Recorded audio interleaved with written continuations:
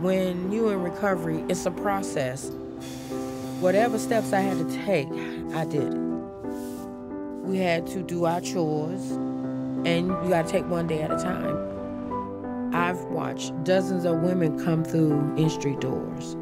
I was just like them. I was broken when I came through them doors. When I would go to the meetings, I would hear somebody's story and say, That's me. When I was actually ready to surrender and just say, I want my life back, this is the outcome of it. And it all adds up. If I didn't give myself a chance by letting people help me, I wouldn't be here today. N Street gave me my life back.